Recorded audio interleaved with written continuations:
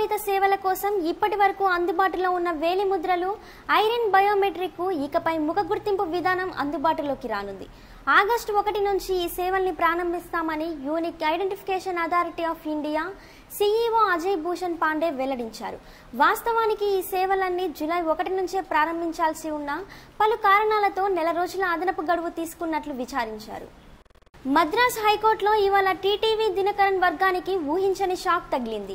దినకరన్ శిబిరంలోని పద్దెనిమిది మంది అన్నాడీఎంకే ఎమ్మెల్యేలపై అనర్హత ఓటు వేయడానికి సవాల్ చేస్తూ దాఖలు చేసిన పిటిషన్పై ఇద్దరు న్యాయమూర్తులతో కూడిన ధర్మాసనం మిశ్రమ తీర్పు వెలువరించింది.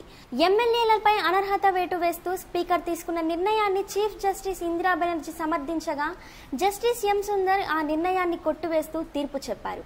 దీంతో ఈ కేసును విస్తృత ధర్మాసనం విచారించనుంది.